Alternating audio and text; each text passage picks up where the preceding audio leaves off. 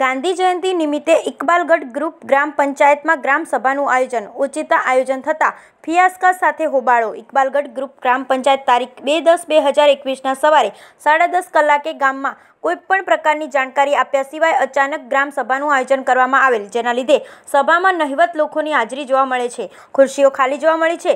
ગુજરાત સરકાર અને ભારત સરકાર દ્વારા લોકોની સુખાકારીમાં ધ્યાન રાખી લાખો રૂપિયાની ગ્રાન્ટ ફાળવવામાં આવતી હોય છે.